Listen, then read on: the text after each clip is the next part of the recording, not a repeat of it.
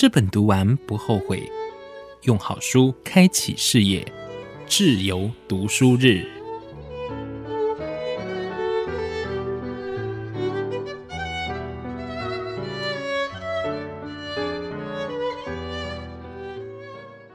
欢迎收听今天的节目，我是志源。今天呢，要带大家来读什么好书呢？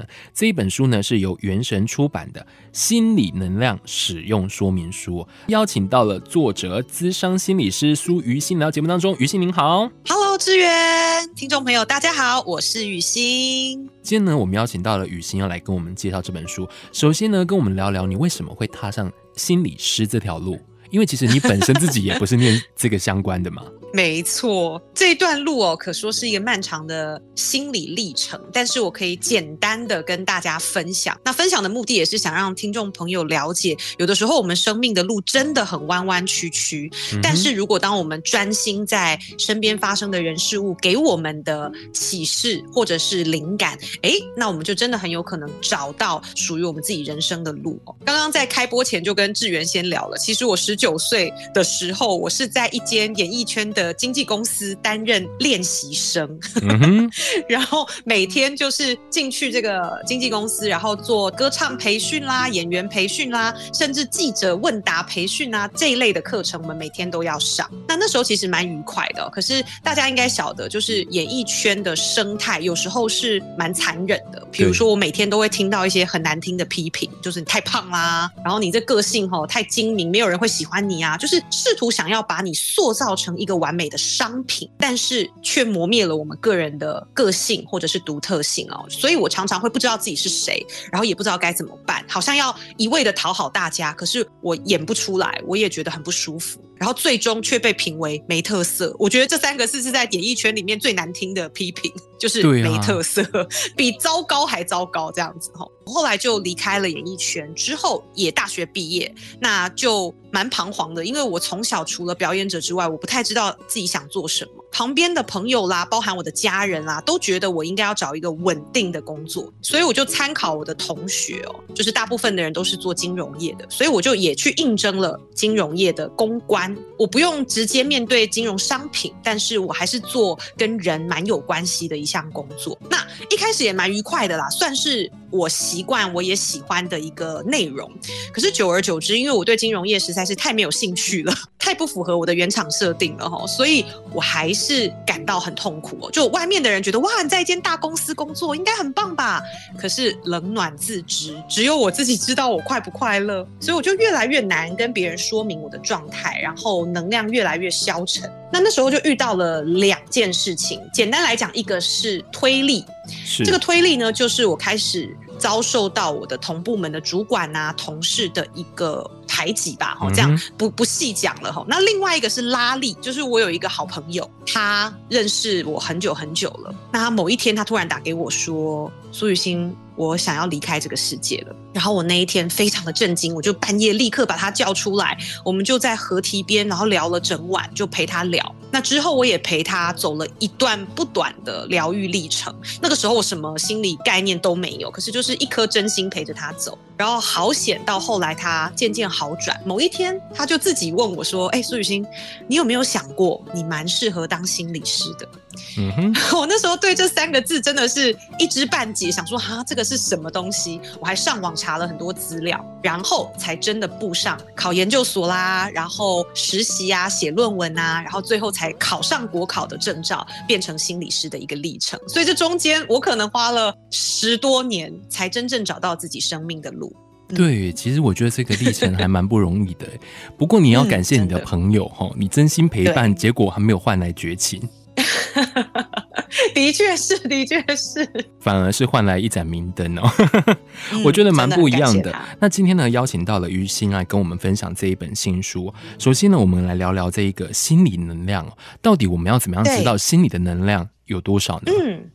我把心理跟能量两个字拆开来，让大家比较能够理解。我们先来讲能量好了哈。虽然大家会觉得能量听起来好像很玄幻，好像不科学，可是其实我们都知道，万物万事皆是能量，包含你前面的桌子、你的手机、你这个人体、空气、好星体，全部全部都有能量，所以能量是无处不在的。那为什么我们有的时候会觉得啊，我今天能量好低哦，或者是哦，我今天能量充沛？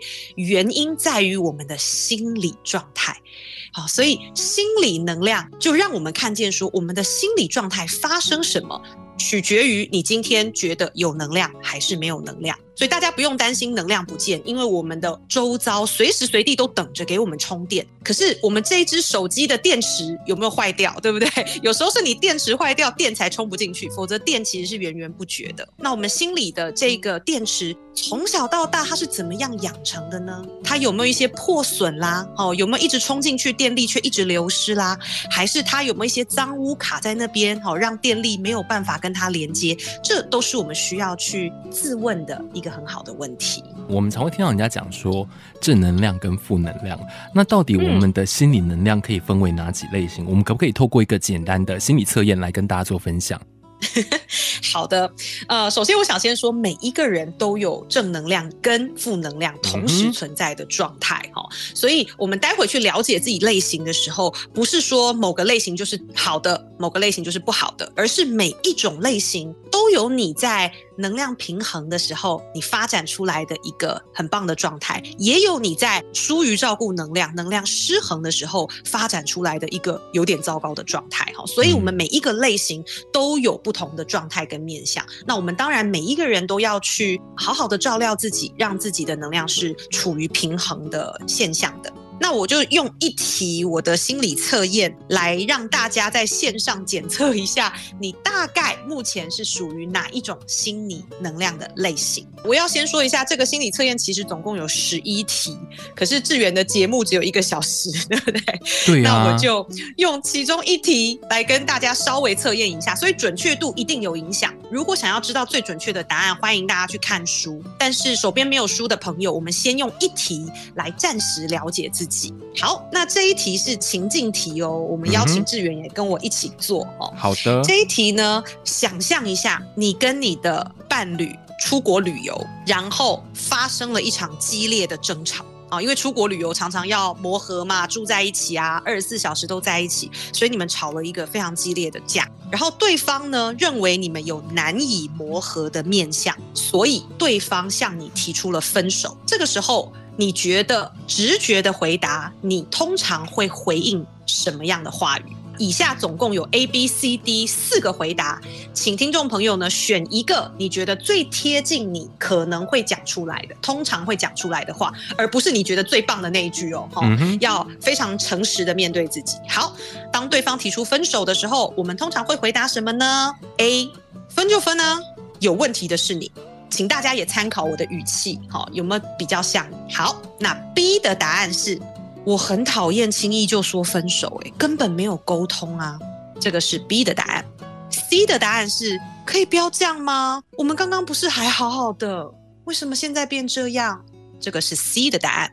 最后一个 D 的答案是，哦，如果你已经决定要分了，那我也没办法。OK，A。B、C、D，请大家选一个。啊，我怎么觉得我的答案是另外的呢？另外的，好，我相信大家的答案一定有另外的，但是因为书的篇幅的关系，我帮大家稍微整合成这四个，就是只能从这四个当中挑。对对对，没错没错，不要太贪心啊，我们就挑里面有的答案比较靠近你想要讲的那个答案，不然志源你也可以分享你的答案，我帮你看你比较贴近哪一个。我的话啦，我会觉得说，那可以等回国之后再说吗？哦，等回国之后再说，因为毕竟人身处在异地嘛，然后你突然分手了，那就是一起去的。那如果是跟团，你就很麻烦。我觉得跟团还好一点点，因为至少你可以跟这个团回来。可是你自助真的很麻烦呢。所以，我猜志源是一个蛮考量情境，然后也会希望整个氛围尽量是好的，对吗？对，你通常人际相处会蛮照顾现场大家的感受。那我会觉得 B 或 C 比较像你，比如说 B 的答案就是我很讨厌轻易就说分手，根本没有沟通，我们再沟通一下再决定好吗？我觉得 B 的答案或许更像志源。对，如果这四个硬要选的话，我会偏向 B。OK，好的，没问题。那听众朋友 A、B、C、D 也有你比较接近的选项了吗？我们要公布答案喽。那刚刚选 A，好分就分啊，有问题的是你。如果你的对话通常都是比较这种直率、快、很准，讲话也许也比较锐利的人，你就是属于能量锐利型的朋友。你可以想象你的能量状态呢，就像。一道镭射光，非常的直，而且能量很强，好，常常就是戳中那个问题的点。那这样类型的朋友呢，也许你从小到大常常被夸奖的是很亮眼啊，有自信啊，适合当领导者啊等等。所以你在能量平衡的时候，的确你都可以很雷厉风行的去做你的工作跟面对问题，直接坦率，有王者的能力。但是锐利型的朋友在能量失衡的时候，我们就常常去刺痛别人，然后在你身边的人也应该蛮常回馈这样的人说：“哦，在你旁边我压力真的很大。”然后你也会发现大家渐渐的就远离你了哦，因为你就是容易看见别人没做好的那一个小小的点，就会被你挑出来哦。那没有人想要被挑刺的感觉，因此你也会遇到这样子冲突跟挫折哦。这个就是能量类型的伙伴。好，那刚刚如果跟志源一样啊，比较偏向选 B 的，会觉得哎，我们可以不要现在就决定吗？我们来沟通一下。好，你想要继续沟通的啊，这样的伙伴呢，我们可能 B 类型的就是能量震荡型。从小到大呢，这类型的朋友应该常常被旁人夸赞会讲话，很活泼，有表演跟艺术天分。志源，你有吗？我好像是哎，不然我怎么靠声音工作呢？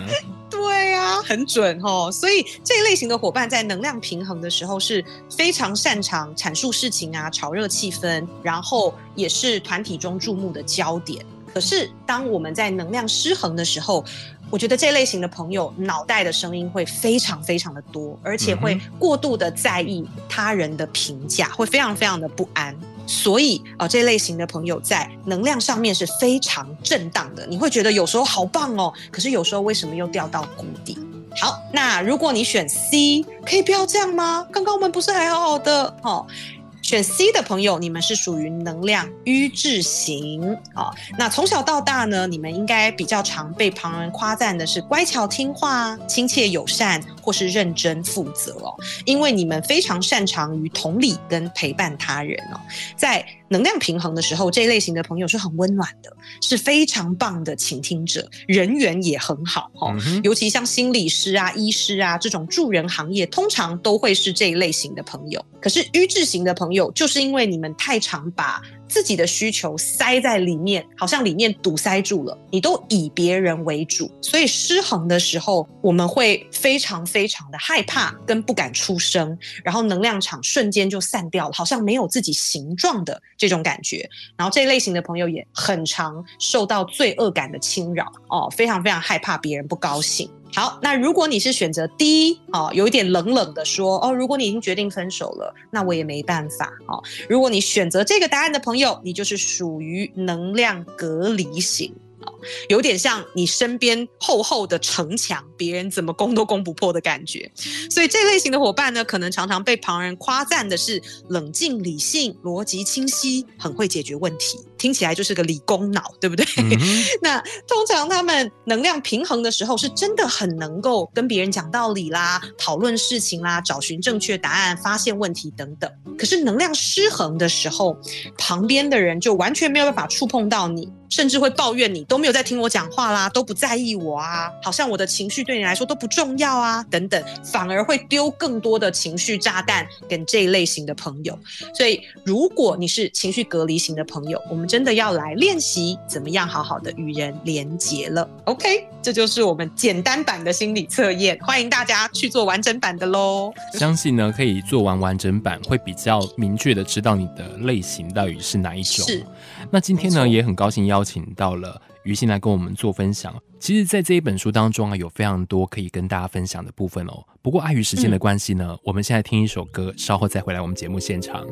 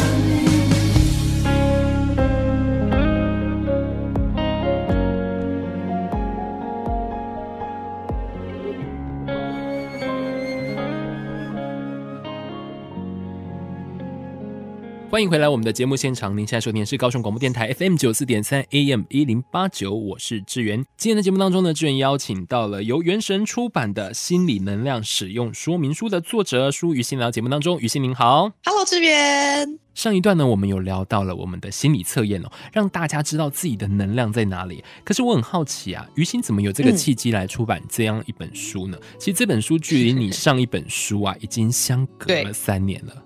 是没错，我上一本书的书名叫《活出你的原厂设定》哦，呃，也就是在针对心理内在的状态，帮助大家去找回我们自己最顺畅的运作方式是什么。然后去解决生活中大大小小的问题。这本书结束之后呢，其实有很多出版社，包含很多的编辑，都来跟我讨论说：“哎，老师，你下一本想要出什么啊？哎，好像原生家庭这种创伤，大家都很有兴趣，要不要写这个啊？感情的议题，失恋、外遇很重要，要不要写这个啊？”我是觉得每一种主题都超级重要，可是我就一直迟迟无法下笔。那后来我就做了一个静心往内看的一个动作，我去看看见我内在为什么迟迟无法下笔，为什么对于写书有一点抗拒哦。那我后来才发现，因为我自己已经有了一些变化了。虽然我是从心理师这个身份被大家所熟知哦，可是我在做咨商的历程中，我已经不是一开始做心理咨商的方式了。我逐渐加入比较多能量的感受在我的心理咨商里面。那这件事情是有一点点难去跟大家说明的哈，因为也的确我有收到少数的朋友会会说，哎呀，我觉得能量这个东西还是太玄了，我必须要有科学实证、科学研究验证，我才能够相信哦。但是我个人的每天的验证，我个人每天的临床的咨商实验，真的可以看到能量其实是更诚实于我们讲的话。哦，因为个案来都会说话嘛，对不对？他就会讲我家庭怎么样啊，我内心怎么样啊。可是有的时候你会发现，哎，他讲的话他也讲的很有道理，你也相信他不是故意要骗你的哦。可是你就觉得他的话跟他的能量给你的感受是不一致的。我举个例子，像我有一些个案啊，他们常常会跟我讲说，我觉得我没有什么创伤，哎，我的父母真的都对我很好哦，我从来也没有吃过苦，我们家的经济条件也很不错哦。那我觉得应该是不用讨论创伤这件事情。嗯，我听他讲完之后，我就去感受他现在散发出的能量场。其实我感受到的就是一个伤口在哭泣的能量场。嗯哼，这是一个有点难跟别人诉说的一个内在的经验跟反应哦。可是我当下真的就回应他说：“我相信你觉得你的经验不该叫做创伤，可是我感觉到你内心有一个哭泣的声音。如果有的话，因为我也不是你哦，但如果有的话，那个可能在哭什么呢？哦，我就问了这样的一个问题，然后突然之间。”这个个案真的就哭出来，他原本看起来是还蛮活泼的，可是他瞬间就流下泪来，他才去感受说，因为他的家庭其实真的不是那种会打他啦，会虐待他，不给他吃东西，很贫穷都没有，可是他的父母就是因为都非常的忙，都一直飞国外啊，做生意做得很大。所以，其实他见到父母的时候，都要展现自己非常坚强、很完美的一面。嗯啊，我功课很好，我什么事都做好了，爸爸妈妈你们都不用担心我。可是他有没有害怕的时候？有。他有没有孤单的时候？有。可是他不能说。他看着疲惫的爸爸妈妈，他觉得自己不能说。所以他发现那个哭的声音是出自于。他不能说，他说了，他觉得非常的有罪恶感。所以这个例子就告诉我说，如果我们的智商都只在听个案说的话，那个会非常有问题，因为那个说出来的话都是透过我们充满限制的心理状态讲出来的。可是能量在表达的，如果是另一个讯号，我们没有接收到的话，我们就会不知道智商在智商什么。嗯那我们这本书也就是来邀请大家成为自己的心理师。我们来感受一下自己内在有没有这种不一致的能量。譬如说，我其实很悲伤，可是我哭不出来。这件事情就表示有什么东西是阻止了我们表达、宣泄真实的感受。类似像这样子的觉察，就可以打开那个我们压抑已久的门，然后让你的能量。重新自在的流动，而不会塞在里面，或者是堆积在你的肩膀上，堆积在你的器官里面。讲到这边呢，我就想要来请教于心一个问题哦，像这样子的一个情况啊。你刚刚有讲到原厂设定这件事情呢，会不会有一些是他本来的个性，但是因为外在的环境而改变他的能量？没错，这个是会出现的哦。所以原厂设定真的是我们要去探索。像刚刚志源私底下跟我聊天说，哎，我们觉得好像我从小就是特别活泼啦，好可以跟大家呃打成一片呐。可是为什么志源好像长大了之后开始觉得自己比较隔离？那这件事情，这个就是一个很棒的不一致。所以，我真的觉得志远超级有慧根的，难怪可以帮助这么多人哦。就是你可以马上看到自己的这个改变，也许因为你经历了什么。因此，我们不要小看生命中每一个。大大小小的经历。也许你没有因为这个伤而死掉，对不对？你也没有因为这个伤而趴在地上都爬不起来。可是你真的受伤了，这个伤并不会不见，除非我们去面对它，消融它的力量。它才有可能真正从你的潜意识消失，否则这一些不一致的创伤就会在潜意识里面形成某种自动化的反应，然后不断在你生命中影响你。那我就举志源刚刚的这个例子，如果因为你太常跟人连接，然后太能够跟别人互动，然后所有人都跑来跟你说他的痛苦、他的辛苦，然后你每一个人你都帮他。服务，然后甚至帮他想解决的办法，你到最后你的能量会耗尽，这个时候你自然而然就想要建立一个城墙，然后把大家都挡在外面，甚至有一个人打电话来说：“哎，志远，你现在有空吗？”你可能连那个 line 都不想打开哦，这个就是一个很反射式的自动化反应。你觉得又来了，我又没有力气了，可是大家又需要我，就是有这种很矛盾的心情，所以他就会在让你生活中，你好像没有办法去跟别人好好的建立界限也好啦，或者是真正。去帮助到别人，因为也许这是你原厂设定中会让你觉得满足跟有成就感的事情。可是当你的能量耗尽的时候，你并没有办法发挥你真正的天赋，那这就很可惜了。像于心讲的这个啊，就让我回想我过去在做社会关怀节目的时候，很多人都问我一个问题，很多人也会问心理师一样的问题嘛。就是当你听到了这么多的个案，然后听到这么多的故事，好像都很悲惨，好像都很悲怆。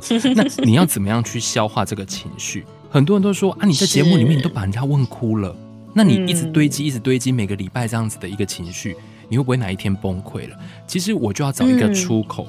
比方说我去看表演，或者是说我去旅行，我在生活当中去找到其他的共感，然后去观察很多的事情，然后从这个过程当中呢，让我去领悟不一样的人生道理。这个东西讲起来很像很玄，很像很奇妙，可是我觉得这就是真的。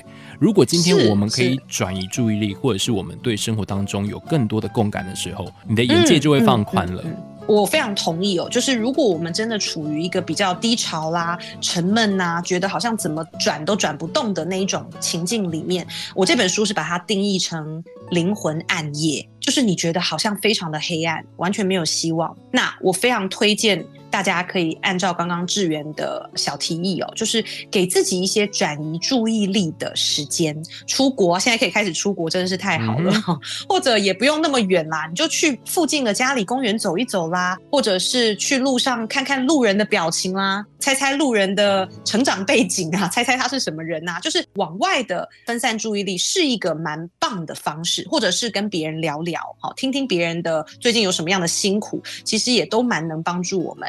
去照料自己，但是我有另外一个小提议哦，就是在转移注意力，让我们内在比较松开一点哦，没有那么不舒服之后，我们还是得把这个注意力放回我们的心理状态，去了解一下我最近到底发生什么。假设说我最近觉得非常非常的忙，那我们就要来问问自己啊，这个忙它的意义是什么？或者是我想要这么忙，我想要获得什么？真正的去听听自己心里的声音，我们就更有可能从根源去完全调整我们的心理架构跟心理模式。比如说，像很多朋友，他虽然很忙很忙，然后你简单问他说：“你这么忙，你为的是什么？”那很多朋友都会说：“我想要赚钱呐。”对不对？我忙不是为了赚钱，还是什么呢？这时候我们就苏格拉底式的提问哦，在追根究底的问：那赚钱你想获得的是什么？啊，赚钱就好生活啊，对不对？可以过得好啊。那继续向自己提问：那过得好生活，有好品质，可以获得什么？其实你会发现，无限多的问题问到最根本、最根本，我们想获得的都是一个内在和谐的感觉。就是一个舒服的感觉，好像我不紧张了，我不焦虑了，我真真正正的满意此时此刻的状态。所以，如果我们的最终极目标是这样，那我们就真的要常常从向外的追求停下来，然后往内去培养出内在那种很满足、很和谐的感觉，因为那个感觉已经在你的心里了，只是我们没有去找它而已。